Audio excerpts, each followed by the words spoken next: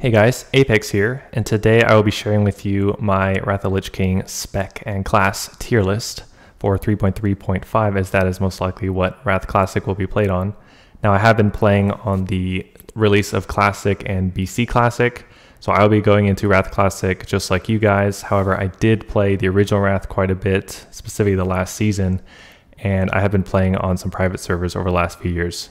So quick disclaimer, I don't know everything. However, I do think that my tier list, you can't really argue with what's at the top and what's at the very bottom. You can move things around within the same tier, but I think those things are more set in stone what's at the top. Now, we all have our different experiences. We have played different specs, classes, and compositions over the years through different patches. We might misremember things. So, this is just my tier list, and you are free to disagree. It's not all accurate. But with that, let's look at my credentials. I have played a lot of Paladin. I have been 2.7k in twos as well as threes. I have been Gladiator as Paladin twice, and one of those was rank 1. I've also played DK to 2600. I've played Warrior to 2.3k and Hero of the Horde. I've played a lot of Ele Shaman to 2.3k, and I've played a bit of Rogue to 2.2k. I've also played a bunch of other specs and classes uh, because I do enjoy learning and just having a new experience. But with that, let's get into the content.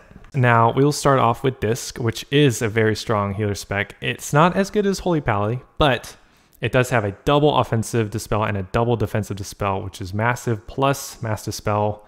You can quickly get off the bubbles and blocks, which comes into play quite often. They even have decent burst and have pretty good throughput, good mana, but they do die a bit easier than paladins. So they're going to end up going probably the higher bit of strong. I would say they're the second best healer, but it's going to be a very close tie with the other. Then you have Holy Priest, which is just worse than Disc. Uh, there's almost no reason to play it in PvP over Disc. It dies a lot quicker. It has to cast more. It just doesn't have as good mana, really. Uh, you can heal people when you die, so that's good, I guess. But yeah, it's not very good. It would go, you know, somewhere in the gimmicky tier. And then we have Shadow Priest, which a lot of people love Shadow, and it is much stronger than it was in BC. They fixed the mana problems. They've added a huge defensive cooldown with Dispersion. It'll allow you to move around without being slowed, so you can quickly get to cover, escape some danger. It regens your mana too, so it's kind of like a three in one. And you can even use it while kicked, which is absurd because like a mage can't ice block while they're kicked in frost, but a priest can move around and regain mana while they're kicked. So that's very good. And their healing is super high. And on top of that, their damage is super high. They don't quite have the burst of some other specs like, you know, a frost mage or a hunter, but they have crazy damage and just a little bit of help from any other class like a mage or a rogue or something.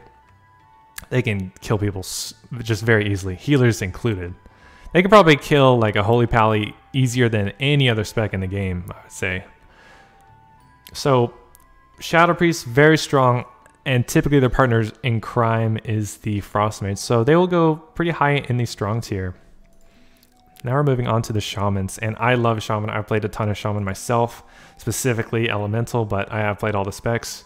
And Elemental is actually the best caster in Wrath. They have offensive purge, they have their totems, they have a ranged kick on a short cooldown, very high passive mitigation. They don't really have a defensive cooldown, but T-Storm, plus their great off healing, Stoneclaw Totem, which is like a 4k shield, the 5 or 6 second cooldown Wind Shear off the global ranged kick. Very, very powerful. And then they can Lust, Tremor out their teammates. Just very powerful. And with a Flame Shock, Lava Burst with Lust into an instant cast, Chain Lightning, uh, like maybe a kick built in there, Rocket Gloves, and like a Lightning Bolt, just you can take at least half of someone's HP off uh, if they're like reacting well to it. And that's pretty hard to react to that anyway because it's so quick. But Ele is definitely the best caster in the game. Uh, they're very fun too and a decent skill cap. And then we'll move on to Enhanced Shamans. Also strong, not as good as the best caster in the game, but Enhance is typically paired with a Paladin or a uh, BM Hunter. Now, they have very good burst. They have the offensive dispel. They can play with a healer weapon or swap it out mid combat to a healer weapon, and then off heal for a ton. And then they have the lust plus all the totems, the very short five or six second ranged kick, depending on what talent you use. Very good.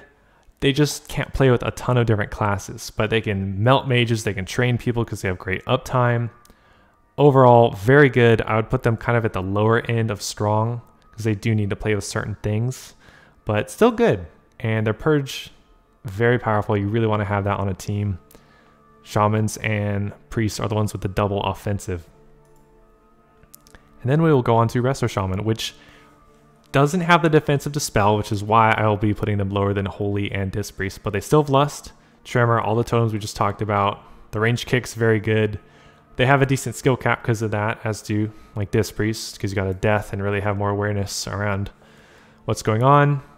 And then they typically are played with a Shadow Priest and a Mage, and that'll be Shatter Play or Shadow Frost, whatever you want to call it. And I would end up putting them just a little lower than Disc, maybe, maybe like here or so.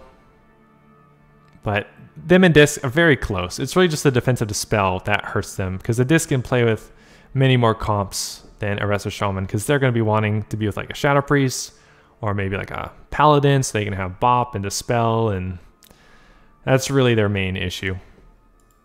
Now moving on to Warlocks. Now you have Affliction, which doesn't have a ton of burst, but it's a little higher than it is in BC. And it has very high damage. And if you dispel an unstable affliction, right, five seconds silence and a lot of damage, you can just die in that. And then they have the instant cast Howl of Terror, which is very, very powerful. They can just be running around, teleport all of a sudden, and instant fear your whole team, and you can just lose off that. Then get a huge setup with CC, dot everybody, maybe fear someone out of the fear, spell lock. Then you have your defensive dispel with Felhunter. Very good, but I mean, all that might sound really good, but they still don't have an MS, and they can still get trained, and they can still die. And so I'd end up putting them probably like lower end of strong, probably. I would probably put them right above Boomkin, maybe. But yeah, they can just get cleaved down easily by like a hunter with anything, maybe a warrior with anything. But with some CC, their damage, they, they will outlast most people, especially if you combine them with Unholy DK. Holy DK plus Affliction Lock, just disgusting AIDS damage. Then we got Demo Lock. Now this one is probably one of the better gimmicky specs. It, with Metamorphosis up, is very tanky, does a lot of AoE damage, and it's very good actually for dueling, or it can work in twos with like a Rogue maybe, or like a Ret, but uh, it's not very good. And once Metamorphosis is gone, it's just way worse than the other two lock specs. So this one will go into the poor, but probably on the higher end. Um, it's fun though to play, and like I said, it's really great in duels. But in arena, it's going to be worse than the other two, no question. Then we got Destro locks. This I think is the best lock spec. You have crazy burst. It's basically better burst than Frost Mage, but they don't have quite as good of instant CC. So you can't just go like Frost Nova, Deep Freeze out of a Fingers of Frost, or like a counter spell into a hasted poly. All you got is Shadow Frost or uh, Shadow Fury, and then your two minute cooldown Death Coil. And then you don't really have all the slows, all the roots. You can't block out of stuff. So you don't have the ability to control as well as a mage does, but you still have quite a bit of control, and the burst is a little higher. And for that reason, I would probably put them like I almost want to put them above Mage and Shadow, but I, I think I just have to put them a little bit below, as they are very good. But if they're getting trained by a warrior who's just like spamming Unrelenting Assault or Spell Reflect kicks and just getting cleaved down maybe by a DK as well or a Hunter, I mean they can they can just flop and do nothing. And now moving on to the Warrior class. Now I've played a ton of Warrior myself, and Arms Warrior is actually quite nuts with gear. Now, the biggest thing with warrior, if you are a geared warrior, you have armor pen gems, you have the armor pen PvE gear, lots of crit, you are basically the best melee in the game. But if you're playing with just no armor pen, you're not the worst melee in the game, but you are significantly worse. Like a pretty undergeared warrior with like no armor pen, I would put like somewhere around here in the viable section. But a really geared, like not bis, but armor pen and pretty decent gear. It just goes to the very top because they have Mortal Strike, the 50% MS, plus this ability called Unrelenting Assault. Now, besides dodging, when your Rend ticks, which is every three seconds or six seconds, the proc can occur, that you'll get a free overpower on the target. Now, it also has a high crit chance, but if you overpower them while they are casting, they will get a six second debuff that's undispellable that will cut their damage in half and their healing in half. So if they're healing themselves with Unrelenting Assault and Mortal Strike, they will only be healing for a quarter, so they will be double Mortal Striked. So you can imagine with Warriors high damage, if they have a lot of crit and armor pen, plus double Mortal Strike, and then let's say you add in anyone else helping the Warrior, it's absolutely unhealable. So a Warrior can do crazy damage and can basically solo someone on their own if they're paired with, let's say, a Holy Pally, which can spam Dispel, give them Sacred Cleansing, give them freedoms, bop off a Disarm. It's pretty crazy. And hey, guess what? The best healer in the game, Holy Pally, with the best Ele or best caster in the game, Ele, with the best melee in the game, makes the best threes combo in the game, Thundercleave. So this is pretty nasty. You will see Thundercleave in the ladder. It'll probably just get better as the seasons go on as the warrior's the one who really needs the gear compared to the others. And then late in the game, like the end of Wrath, the Ele and the Holy could actually play Bobble, and then you could have tons of instant uh, while silenced off healing, which makes that comp even more versatile. So very powerful is the arm spec. Do not underestimate it. But if they have very bad gear or they're not very good at it, it will be much lower. And then we have Fury Warriors, which won't take long as they are basically just worse than arms in almost every way. Less burst, less consistent mortal strike, uh, less, or about equal damage, I'd say, but a little less damage overall. And they're just basically worse, and they don't have unrelenting assault. So I would pretty much put them in the poor category. They're they're really not even viable because you just don't have that consistent mortal strike or the UA. So I would end up putting them probably here in the poor tier just don't play it. If you want to play uh, PvP, you have two way better options. And now the last warrior spec, we'll be going on to Prot, which also sort of has the issue that Arms Warrior has where it's very gear dependent, but probably even more so as it needs to run almost full PvE gear to get almost to 100% armor pen if you can. They rely purely on their control. So if they don't have enough damage with the control, they can't control long enough for it to matter. So Prot needs ideally to have like two piece PVE tank gear, two piece PVE DPS gear, so they get the damage increasing set bonus of the tank gear, and then all the armor pen with the PVE gear.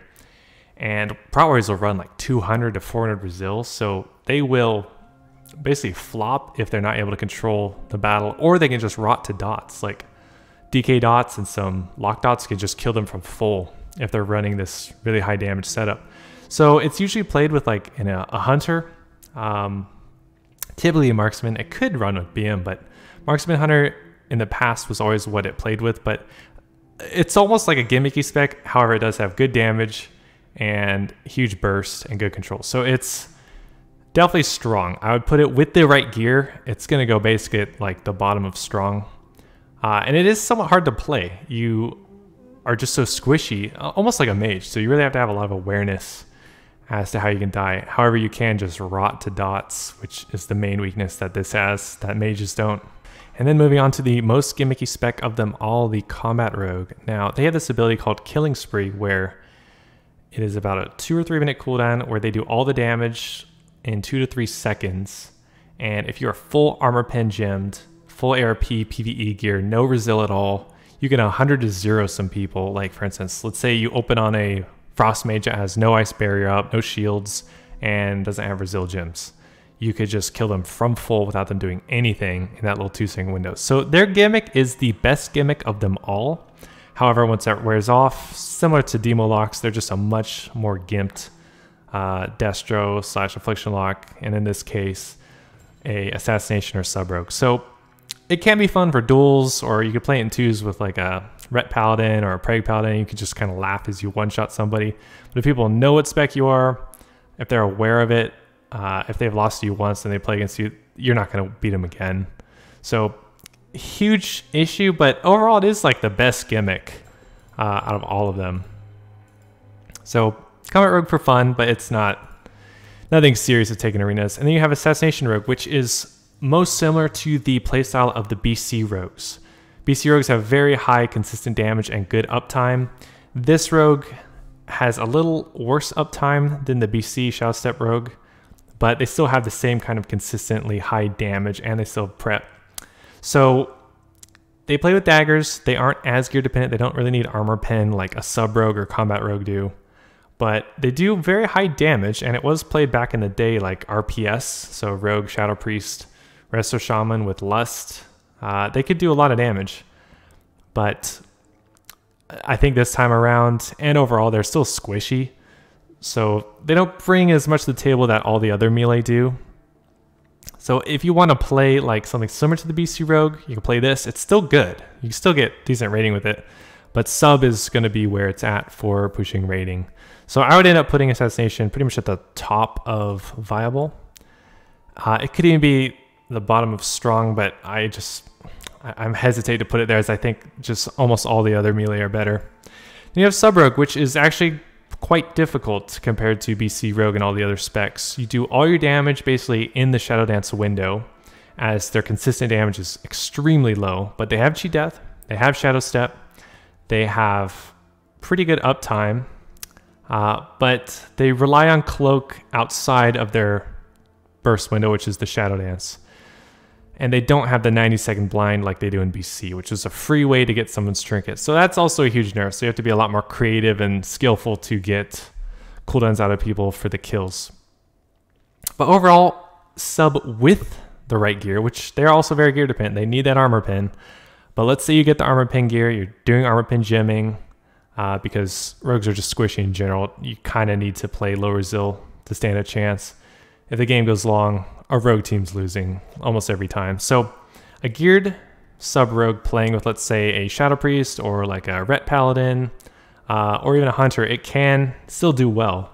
Uh, RMP can even play decently with all three doing damage. But a sub, I would probably put it like somewhere near the bottom of strong. Uh, if you're really geared, like it's going to be about here. But uh, it's going to take a very skillful rogue to push high rating on top of having the gear. Sub needs the armor pen so badly. But you can gem, so even if you do no PvE, like you can still play it. It's just it's not gonna be anywhere near as good. So with that, that is my tier list. My name is Apex, and if you enjoy this content, please subscribe, and I will be making more WoW and other gaming related videos in the future.